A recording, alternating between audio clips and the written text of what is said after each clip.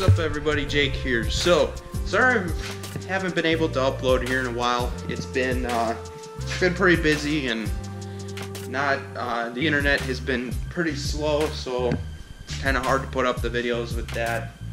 Anyways, um, I just want to take and go over a couple things that has been happening here. So first off, as you guys can see, the 245 is in the shed, and look at that, front duals. I'm really excited. This was something I've been wanting to do for a long time.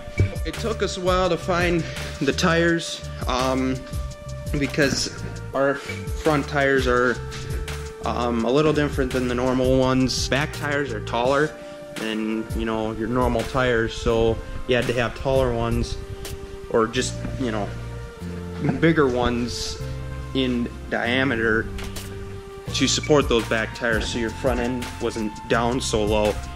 Yeah, but as I said, I've been wanting to do this for a long time, um, just to beef it up. And speaking of beefing it up, we got a performance chip. Uh, as I've been saying in the, you know, as I said in a few videos, I wish this tractor, especially when I'm pulling the vertical till, I always said I wish this tractor would have, you know, more horsepower so that's what we're doing, and we're roughly giving it 30 to 40 more horsepower. So that's gonna be nice. Looking really forward to it. Um, she's gonna be a beast, or more of a beast than she was. So, um, and then we're gonna be doing, you know, other stuff, changing oils, uh, fixing some of the uh, problems that we had when it was so muddy this year. Um, from mud flying off the tires and hitting mirrors and knocking lights off the side. So we're gonna fix some of those issues. Now the story with the front end, we have a couple of issues here. First issue is bolts on the inside of the spacers are not long enough. Um, so we're gonna have to find some longer bolts.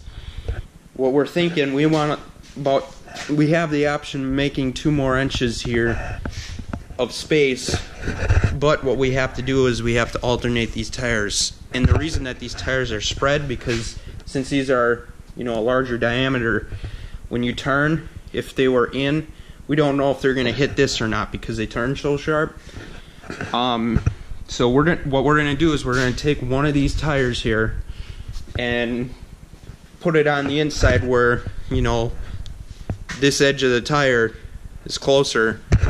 And when we turn it doesn't hit it this plastic piece here or the hood um, or even the metal there you know so we're gonna have to do some testing and some fooling around with it just to see you know how that will work and hopefully it works because I, I do want a little bit more space in there Otherwise, you know, this thing is going to be pretty beefed up. I'm looking forward to this. And, you know, with the chip, it's going to be pretty self-explanatory. There's plug-in over there. Just plug her in. Uh, we're going to have to run the dial into the cab, which isn't going to be a hard task either. And then the only thing that we may have trouble with is finding a place for this to be mounted. Um, but, you know, we have we have options with here since, you know, we got a little bit of, you know, a little bit of uh, wire to deal with. So it's been, you know, the weather has been really weird here lately. Um, a lot of snowing. Well, we haven't got a huge ton of snow, but we've had a lot of weird storms. Uh, probably as you saw in the start of this video, you saw the hailing. Well, we had a nice thunderstorm come through when it was 50 degrees out. Um, thunderstorming in the middle of January.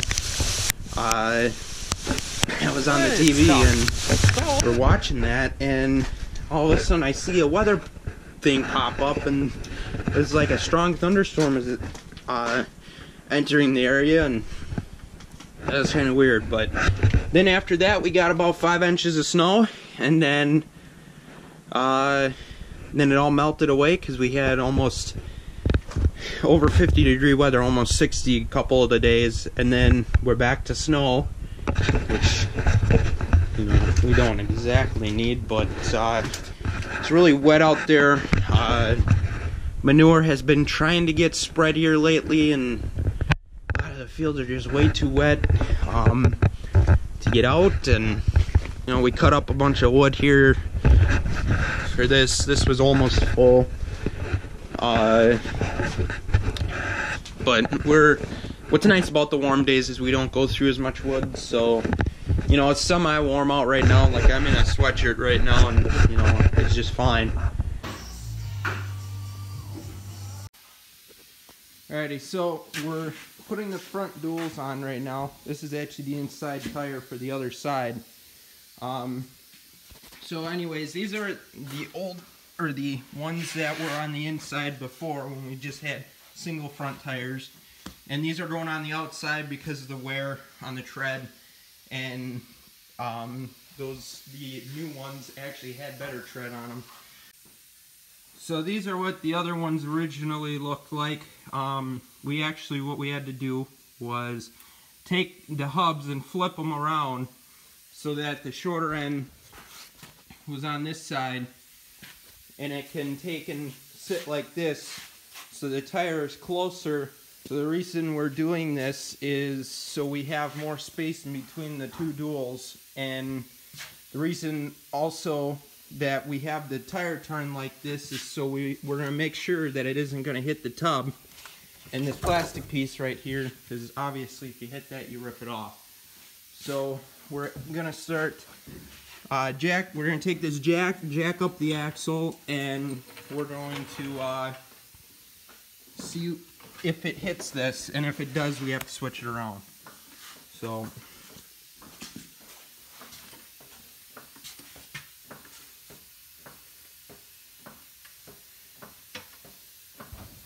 Alright, so now it locked. Let's see what we got. And it looks like we're good.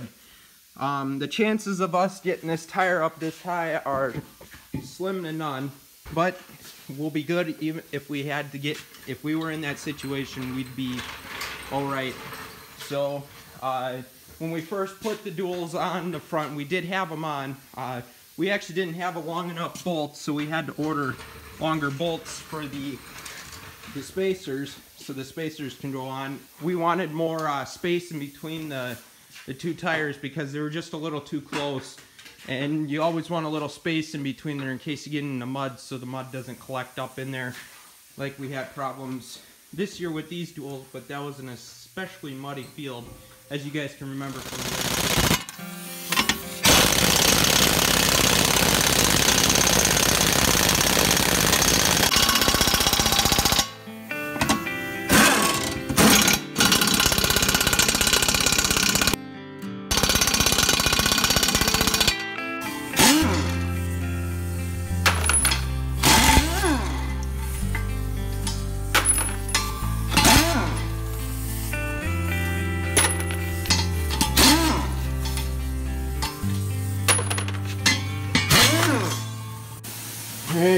spacers are on. So what we got to do yet is tighten up these bolts along the, the hubs. And then we are going to have to move it forward because they're up there. Hang on. We got to put in a bolt right there.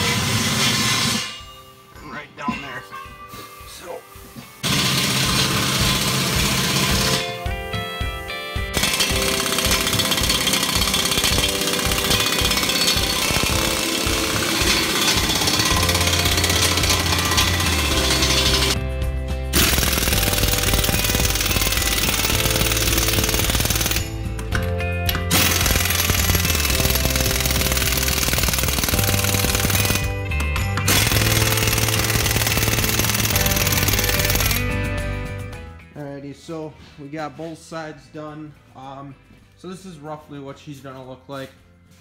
Uh, I don't even got this bolted in right now, so uh, we had to uh, we had to put these hubs on the other. It, they used to be on the other side of the of this little notch here, but we had to put it on the opposite side so that they would be um, further apart. And uh, it actually wasn't a huge you know it added a little bit. So she's uh she's coming together. This is gonna be a thing for tomorrow um to finish up. We're gonna put you know get the dual strapped on I gotta paint that up there.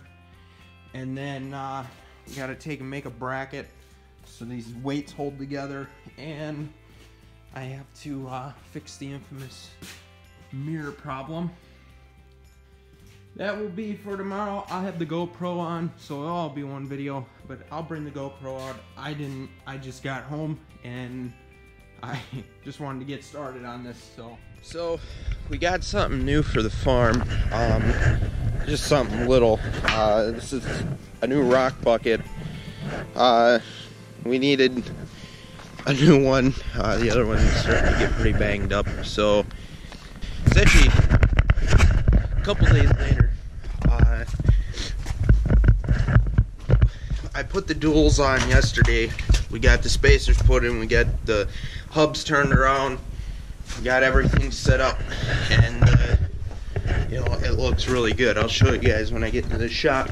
Somewhat warm out today, so hopefully I'm gonna take it for a ride out on the road just to see what we want to check for is to see if the hubs went on wrong and if they did you'd feel like a, a, bouncing sensation from the wheel not being perfectly straight on the hubs. So that's what we're going to check for today. Hopefully um, it's sitting in a warm shop well not actually warm right now. I'm going to warm it up to 50 degrees. Once I load this thing if we keep that on overnight or if we keep the shop heated overnight, it'll suck uh, all the wood up in here.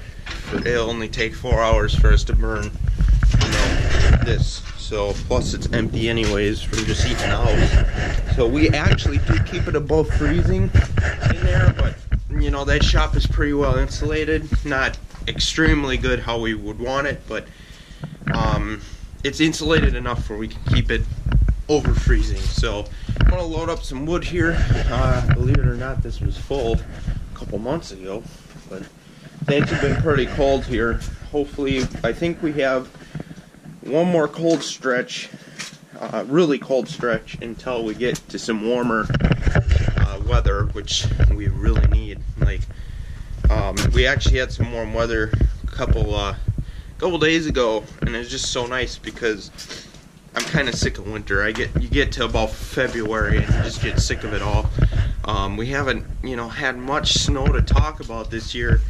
Now they're talking you know one to three inches tonight, and then another one to three inches tomorrow. Which then we'll get six inches of snow and then it'll melt again.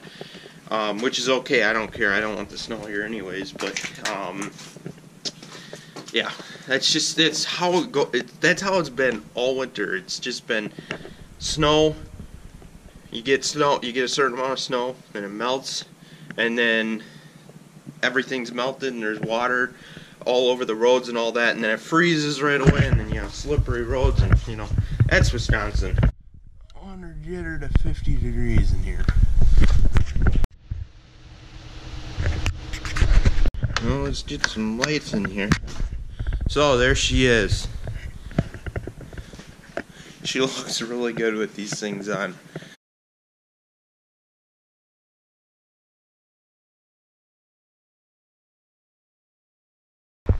Well, we got a ton more snow, or we got a ton of snow.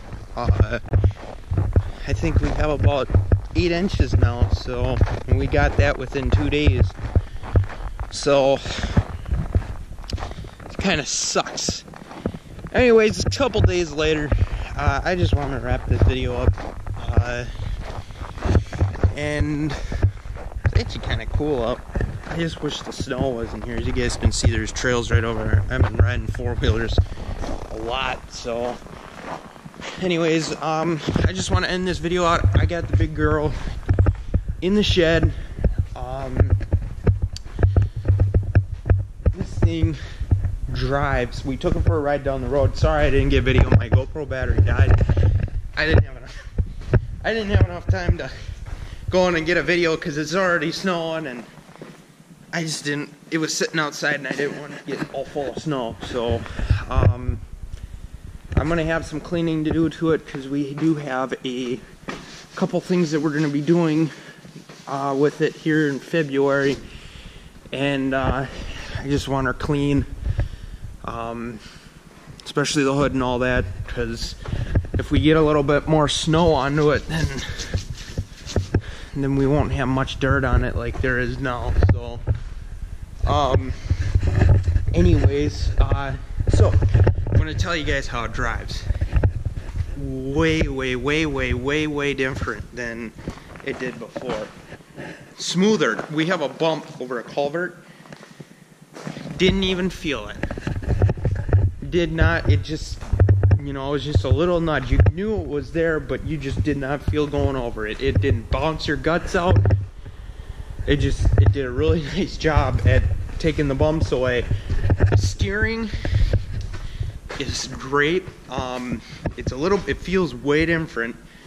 Um, but uh, I think it turns a little sharper just because how we put this tire in yeah, it's to be nice. I'm looking, I'm looking really forward to it. So, uh, when we turn the duals all the way, it's not really on this side that we have to worry about, but it might be on this side.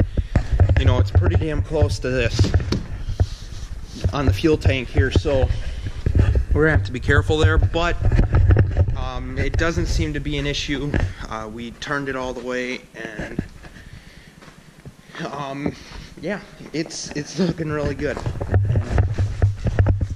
looking forward to getting this baby out running. So, uh, this video has been spanned over a couple of days. Uh, sorry about that. It's cold out. It's been cold out for the last two days. Um, no, three days. It's been really cold out. Right when the snow came in, it got really cold out. So, uh, we're we this winter has been you know somewhat mild. It's been really cold most of the you know for the start of the winter. It's been very cold, but uh, we haven't had much snow. This is actually the most snow we got this whole year. So I think we measured up to six inches. Yeah, I'm thinking roughly six to eight, to eight inches. So um, can't really tell up in here because we've been driving four wheelers through here. So so sadly, this is probably my first video of 2018, so I guess I have a little bit of battery left. Um, so I'll let you guys know some of the plans for this year. This is way, way late, and I'm sorry about that. Um, but my main plan is to get you guys more videos. Um, or at least film a bunch of stuff and make longer videos I, I, you know, I like to keep my videos around the 15 to 20 minute range. So, uh, we got a couple things coming up here that I will video. Uh, I did video a bunch of stuff, but some of this stuff I lost the footage. That was totally my fault because I accidentally deleted them. So that was uh, one of those stupid things that I did when I was because I usually select them all and then you know right click and copy. Instead of doing that I accidentally right clicked and deleted so it is totally my fault. And besides the point um, my main objective here for 2018 is to get you guys some more videos. At a consistent schedule or a consistent upload so uh, I'll try to get you guys as many as I can. But um, to, for those of you who are watching, if you have not subscribed, please subscribe. Uh, my goal for 2018 is to get a thousand subscribers by the end of the year. Hoping that can work out. Um, and as I said, I'll be putting up different videos here and there too. Um, some interesting stuff that are happening this year. Um, there might be something coming up here pretty soon about this. Uh, not sure on that yet. Then I'm not getting my hopes up. Uh, and we do have a couple of videos on the vertical till and the field cultivator. We're getting cylinders replaced on those. Um, on the vertical till on the wheel there. Uh, it was still under warranty, and for some reason that the seals in there broke.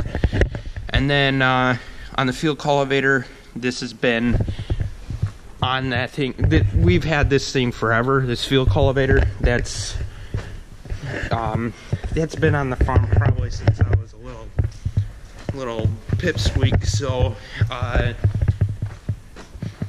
the the rod in the the hydraulic arm busted or not busted, but it's bent and it's been bent for a while. But we just want to get that fixed because eventually down the road that could cause problems for the whole the whole hydraulic cylinder and those are very pricey especially on an old cultivator to get those replaced so we're gonna take and get those fixed and that'll turn out you know good because it's sickening and sick I get sick and tired of seeing that thing bent all the time when I'm sitting there field cultivating so. But that Case IH field cultivator that is you know one of the best things on this farm uh, just for how long it's lasting the the decent the it's not just a decent job it does a great job you know.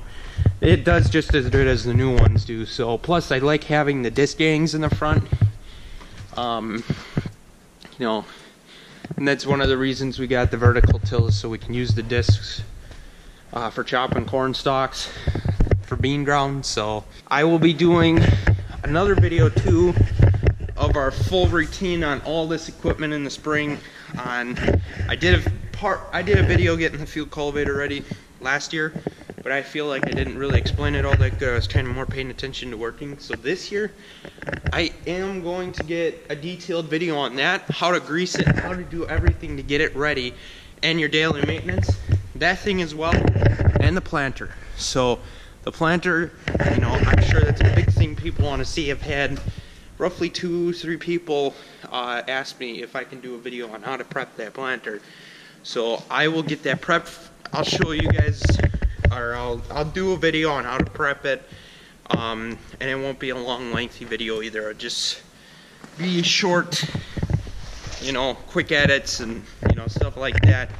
And if you guys have any questions about that stuff, I have uh, me and other resources too. If you guys are having problems, if you have, you know, same equipment or roughly the same equipment, have any questions, throw it in comments below, and uh, I'll do my best to answer them. So, with that being said, I think we're going to wrap up this video. My GoPro's already hollering at me saying it's almost dead. So, anyways, well, I hope you guys enjoyed this video. Please like, comment, and subscribe. Jake Lins, talk to you guys later.